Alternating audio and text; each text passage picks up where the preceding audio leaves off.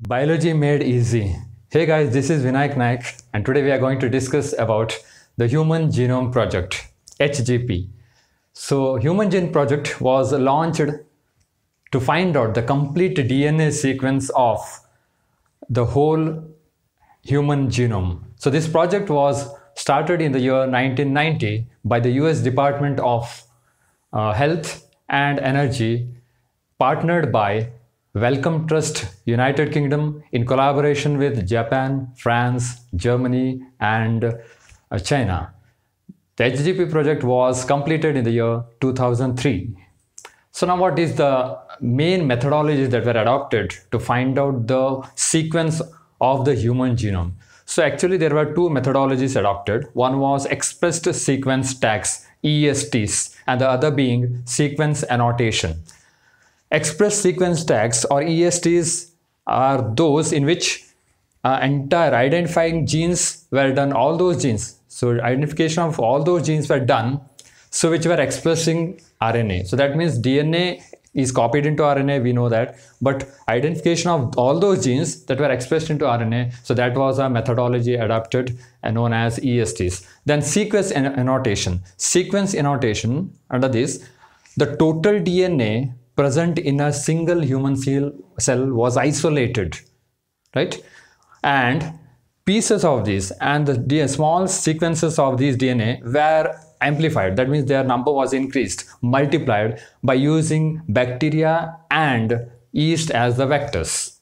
Okay, then there are certain goals of HGP also. So what are the goals of the HGP? The goals of HGP were one, uh, to identify all the approximate 20,000 to 25,000 genes present in a human genome. Next, to determine the sequences of, of about uh, 3000 or say 30 uh, billion base pairs or sorry, 30 billion base pairs, then to uh, store all these informations in a databases. Fourth one, to improve the tools or say devices like say uh, to develop certain software wherein all these data can be analyzed. Or the data can be analyzed. Data regarding uh, the sequences of this base pairs or the nucleotide bases. So all these can be uh, analyzed in a, using a particular software. Finally the goal was to address certain issues known as ELSI issues. ELSI means ethical legal and social issues. Those issues which may arise out from the project. Okay, then, so then we look into the salient features of the Human Genome Project. So now these salient features were actually the uh, outcomes or the results we can say. So it was found that the human genome contains 3164.7 million bases.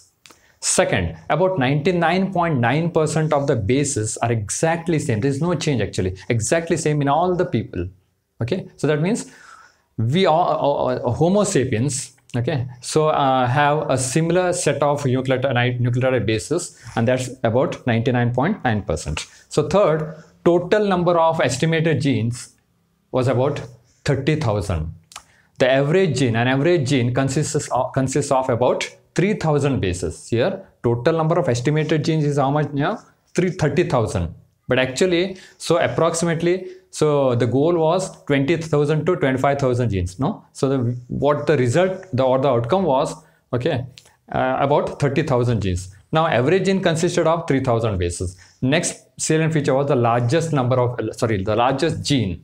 The largest known human gene is the dystrophin gene which contained about 2.4 million bases. Then chromosomes so out of the 23 pairs of chromosomes, or you can say out of 46 chromosomes, chromosome number 1 has the maximum number of chromosomes. So maximum is how much? 2968 genes were present in the chromosome number 1. So while Y chromosome has only 231 genes. Y chromosome, the chromosome present in the males, the sex chromosome present in the males. Next, functions of over 50,000 or sorry, or say 50% of the genes are yet to be known. So that means to say that only about 50% or around 50% of the genes are known, but still the discovery of more than 50% genes are yet to be uh, deduced.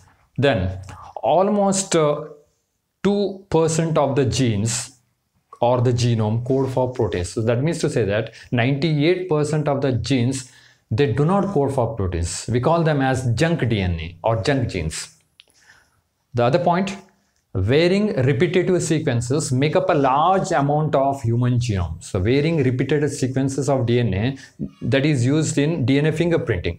So now these repetitive sequences, the repetitive sequences of the DNA are nothing but they are the DNA segments, okay, of uh, or, or sequences of DNA so that may be in 100 to 1000 times. We call them as copy numbers. Now these repetitive sequences are also set, are technically called by the name satellites.